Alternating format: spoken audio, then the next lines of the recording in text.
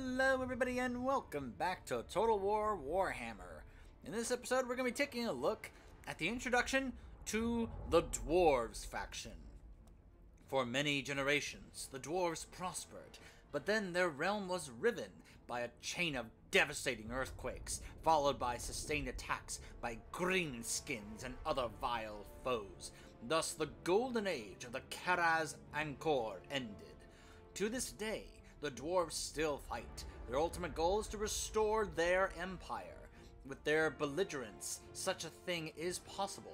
A dwarf throng is a powerful force, consisting of stoic dwarf warriors, gyrocopters that fly above the battlefield, and cannons fueled by flame and steam that spew death. Dwarves do not call upon the winds of magic in the same way as men. To them, magic is a tangible thing, something that can be worked into axes or cannonballs. It is with all these elements that stalwart dwarvish hearts, exceptional armor and weaponry, and the unmatched machines of war that High King Thorgrim Grudgebearer plans to retake his realm, slaying every last stinking green skin in his way. Few doubt his resolve, and for the first time in many generations, the dwarves are truly roused to battle. The great reckoning begins.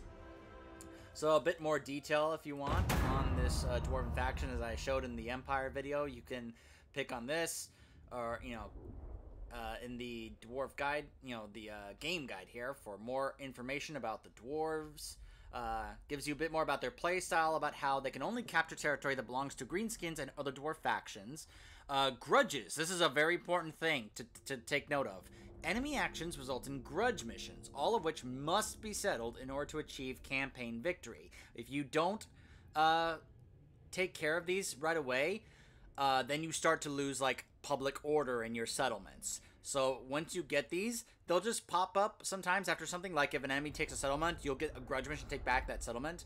And you gotta do it pretty quickly because if you don't, it'll be like the longer it stays there without be getting settled, uh, the the more re- you know revolt and you know you'll get from your citizens. You can use the underway where you can use a network of underground tunnels to avoid impassable terrain enemy armies plus avoid attrition durable units with strong leadership. They have very strong leadership. You will not have a lot of uh, times where your units will run away uh, because of how much armor they have and about how much leadership they have. Excellent range of strong artillery. They have a lot of great artillery in this faction. A strong economy and trade options because, of course, you know, they can do a lot of mining. You can get a lot of trade resources and thus be able to get more trade agreements a large technology tree with both military and civic branches, magic resistance, expensive unit recruitment costs and upkeep. Yeah, it is expensive. You gotta work on that. They don't have any cavalry, but you know they not necessarily meant for made for that. Small unit sizes, no magic, but they have you know some of the top units like Iron Drakes, Slayers, and Gyro Bombers. They start at Karaz-a-Karak. So yeah, like I said, Scores against the is still, and by all means, necessary to keep order underway and roster heavily armored units with strong leadership and variety of deadly war machines. Their initial challenge is easy. So, we get our uh, main you know, lords here. We have the faction leader, a powerful defensive melee fighter and leader, Thorgrim Grudgebearer. Construction cost for military recruitment buildings is uh, minus 10%. Less upkeep for Longbeards and Hammers units, and more experience for Hammers unit recruits. The Slayer we have. Oh, hold on a second. Uh, he starts up with a grudge sword, a catap, which is a catapult, quarrelers, and hammers. Thorgrim Grudgebearer is the current High King of the Dwarves. He is a throwback to the High Kings of old, eager for new conquests, mighty in battle, and a merciless enemy. Yet upon his worm brow there also sits great wisdom, and he is able to uphold the ancient traditions as well as to accept, if not embrace, needed changes, such as alliances and new technology. Thorgrim is forever brooding upon how to return his people to their former glory. As the ultimate ruler of the dwarves, the great book of grudges is entrusted into his keeping. It is Thorgrim's avowed wish to avenge every single entry contained in that voluminous uh, tome such is his resolve that he has already rejuvenated the Karaz Ankor. Tales of his deeds and the long list of grudges already struck out fill his grim warriors with the feeling that the dwarves have long done without. hope. A new age of retribution has begun. And then we have Ungrim Iron Fist, a powerful melee fighter and leader. Less upkeep for Slayers, uh, less recruitment cost for Slayers, and he has more speed for his units. He also gets Thunderers and Longbeards. The tale of Ungrim's family is full of woe, as those in the clan of royal blood bear a history of calamities. Many years ago, King Barador, Ungrim's five-time great-grandsire, suffered a terrible loss, which drove him to take the oath of the Slayers, to forevermore seek death in battle at the hands of the most deadly enemy that they can find. He was torn between conflicting vows the Slayer Oath to seek out death, and the oath of a king to protect his people. His son inherited his vows and continued continued the line of Slayer Kings, of which King Ungrim Ironfist is but the latest. Although Ungrim cannot seek his death in the Slayer fashion, he grows ever more restless, leading the throng of Karak Kadrin into countless battles. Inspired by his High King and seeking to avenge the death of his lone son, who was slain, Ungrim will march to war with the least provocation. And then we have who I am? Grombrindal, the White Dwarf. A powerful melee fighter and leader, has a powerful battle ability. Grombrindal has no fear. Evasion chance when using the underway, minus 40%. Reinforcement uh, range, 30% for Grimdal's army. Can call upon the power of the Ancestor Gods. Starts off with Iron Drakes, Miners with Blasting Charges, and Gyro, Copter with Brimstone Gun. For as long as there's been the Karaz Ankor, there's been the White Dwarf. Grombrindal is an enigmatic figure, recorded throughout the dwarf's history, appearing to give aid to his bearded kin whenever the situation becomes especially dire. However, what can one dwarf do when a Karak is besieged by thousands of greenskins, or a dwarf throng surrounded and outnumbered by a war herd of braying, ravenous beastmen? In Grombrindal's case, turns out he can do quite a lot. The White Dwarf is a mighty warrior, some say bettered only by Grim Grimonar himself. Every slash of his legendary axe sees the heads of Urks tumble from their dishonorable shoulders. Grombrindal faced armies of thousands on his own, and won, which is why many believe him to be a living ancestor. According to the bards, he was, and maybe still is, the lover of the venerated hearth goddess Valaya. Grombrindal himself has never drawn on such a vulgar subject, even when the beer starts to flow during the inevitable post-battle feasts. This matters little to most dwarves who are just grateful to have fought beside such a legend and lived to tell of his deeds and achievements on the battlefield. Long before most of the dwarves have sobered, the white dwarf don- dons his hooded cloak and wanders away into the night. For there are always more Dawi to aid, more Urks to slay. So, To war! I don't, I haven't, you know, um, acquiring him. So let's say if you start off with him, the way to acquire these other legendary lords, this is a little bit more complicated because you have to capture and occupy Karak Kadrin, which is occupied by a different uh, rival dwarf faction. Um, this one, uh, you just have to make like a tier five building, I think. So it takes a while to get either of these. Um, but I don't. I think you have to settle a number of grudges in order to unlock Grudge Bearer. So I usually find that starting off with Grudge Bearer is a is a pretty good. So we're going to be taking a look at the introduction to the Dwarf faction, starting as the High King Thorgrim Grudgebearer.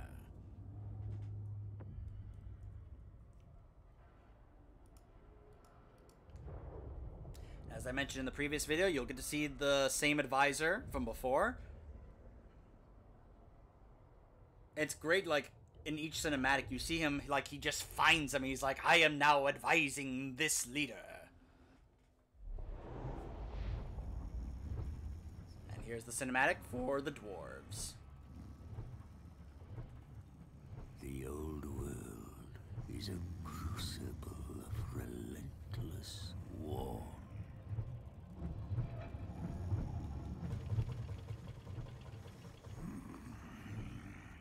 It has ever been so. An era as long as the mountains are unyielding.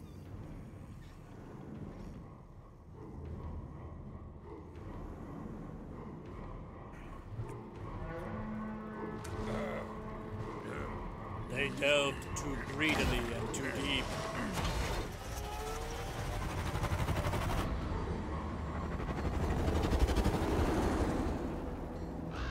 I find it a bit odd that dwarves are using pretty much helicopters. It just seems a bit off to me. But as the storms gather again, it presents a chance for the brave bring about an age of reckoning. I come to the Dwarf High King as a herald of such times. And so I find myself at the King's right hand.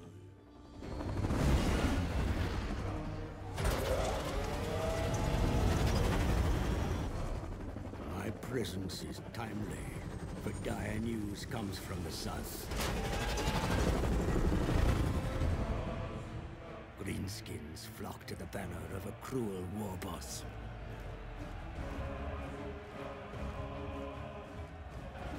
Now, my liege, Thorgrim Grudgebearer, leads a mighty throng from Karaz-a-Karak, smashing aside any foes that block our path.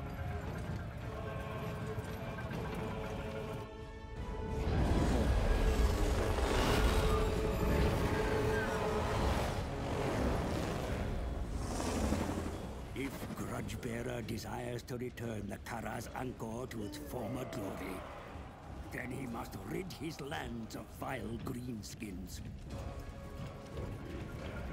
Those gathering within the shadows of Everpeak are a good start.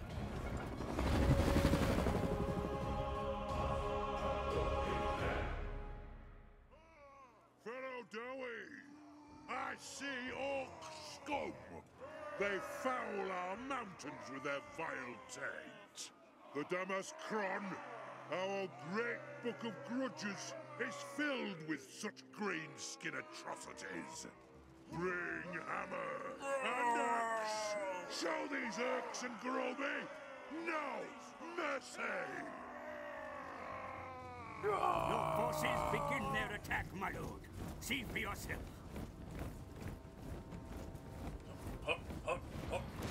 There's, I guess, my troops. There are the greenskins. Lots of orcs. Vile greenskins. Be sure to join the fight yourself. The warriors will be greatly inspired by your presence. Cannons. And grudge throwers, excellent. I agree. Let us march forward. Strike. Come, pallbearers, carry him onto the field. Does anyone else but me think that this looks a little silly? He never gets off that chair. These guys carry him Remember, everywhere. fight, that help and advice is available at your request, my lord. You may rely upon it. I just think it looks a tad bit silly.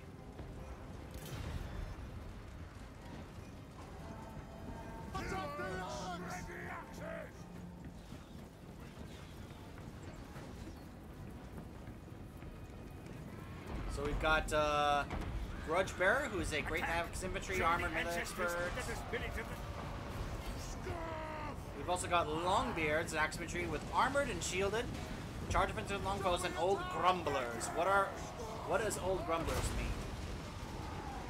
Respected for their great age, superior courage, and length of their facial hair, longbeards have an encouraging effect on their allies' leadership should the Lord be absent.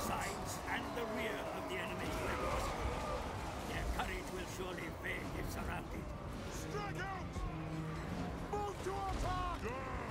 And yes. Kill Move now. Go. See if I can bring these guys around. Ah. Just go ahead and attack. Attack! Attack! We have plenty of forces here. The enemy begin to crumble. They run from the battle. Fire on the foe. Yes. Yes. Make them flee. Make them run. charge of the forces you control, sire. Effective command of your army is a skill worth mastering. Range far! Range fast! Ooh, Goblin Big Boss, get him. Get that leader. Ooh, let's see. More charge bonus, armor piercing damage, speed vigor. There we go, affects my allies' leadership melee defense. Yes! May my abilities help bolster you, my men!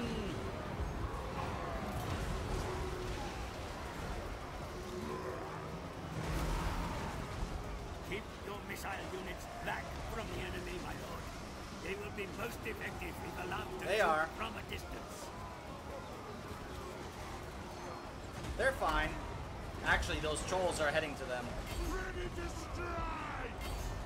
Actually, you guys go attack.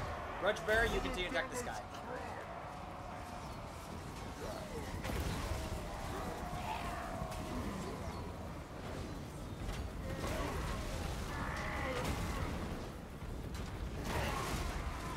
There we go.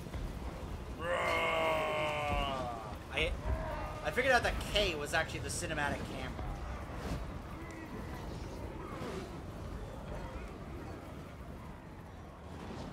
Your presence can sway the battle, sire. Your words and actions can inspire the troops before you. Use your influence and abilities. Hey! Kill them! I have your hide! Go, attacks like that. Those trolls are just kind of chilling over there. I'm worried about them attacking my missile unit, but they seem to not be doing anything. Abilities are ready! The enemy general joins the battle at last. Nashrak fights amidst his mounted warriors. Cut him down. March forward! March forward!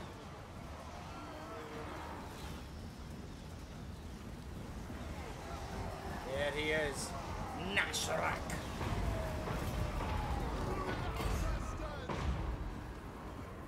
Charge!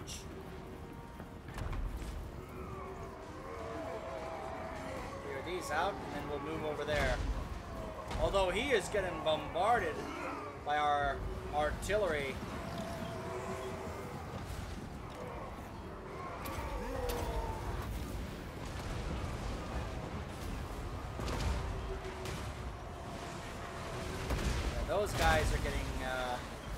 Guys getting routed. Yeah, they're running. Let's just go after Nashrak. But it looks like we already won. The battlefield is secure. Okay then. Didn't even have to go after the general. But of course, this is only the tutorial introduction. They usually make it pretty easy, especially if you set the settings to easy like I do.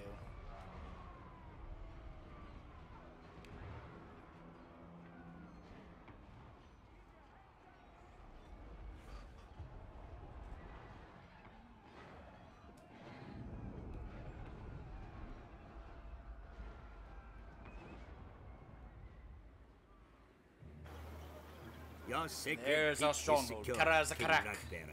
The mountains rumble to the sound of your armies marching, yet the threat to your kind has scarcely That's a dwarven stronghold.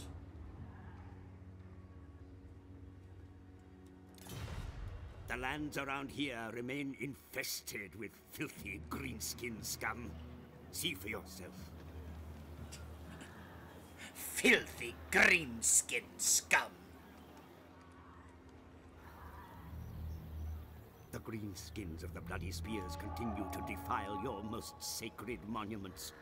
They must be expelled from these mountains with all haste. No dwarf king should tolerate such a presence so close to Everpeak. I agree. The pillars of Grungni will be ours again. We'll take them from those vile greenskins. The dwarfs of Barak Varr look kindly upon your cause, sire. With sufficient persuasion, they would likely join your struggle against the Greenskins. Or let me confederate them into my own group. The scabby-eyed tribe of greenskins maintain their hostilities against you from their feeble camps upon the plains. Be sure to watch their movements carefully.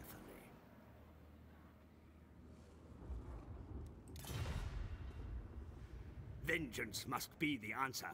The Bloody Spears cannot be allowed to regroup after their defeat. Press forward and maintain the offensive. So we've got hammers, dwarf warriors, miners, quarrelers, and a grudge thrower. Beards in belts. Good. The enemy will no doubt have picked up your Beards and movements. belts? They will be frantically barricading their hovels in preparation for your arrival. More of your proud kin stand ready to take up arms against the invaders, my lord. Recruit them, and they will be ready to fight in the battles that are to come. I can't recruit these guys because I don't have uh, the necessary buildings to do so. Agreed. Well, I'll just recruit these The guys. recruits will make first-rate warriors, I'm sure. For now, the throng must remain in place to train them. Let's also look at improving your infrastructure at home. A solid base of operations will repay itself on the battlefields ahead. Upgraded training facilities will allow you to better train the Dawi to fight, sire. Excellent. Stout hands will be set to work immediately. You must seek ways to further your methods of war if you are to drive the orc filth from the mountains. Put the finest minds from the guilds to work on improving your practices and knowledge. So you can see the dwarves have a huge technology tree to be able to research. Uh, the way of the clans and the way of the guilds. Income from settlements, public order, recruitment cost, recruitment cost. Hmm. What would I want to start off with?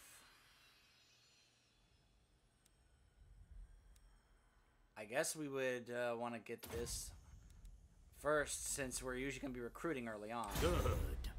In time, the law they will gain will surely aid you. I know your patience wears thin, my king, but you must temper the need for vengeance with further intelligence of the Grobi's actions. There is nothing more to do for now. So that is the introduction for the dwarf uh, faction campaign, and when we come back, we'll be taking a look at the Greenskins. Stay tuned.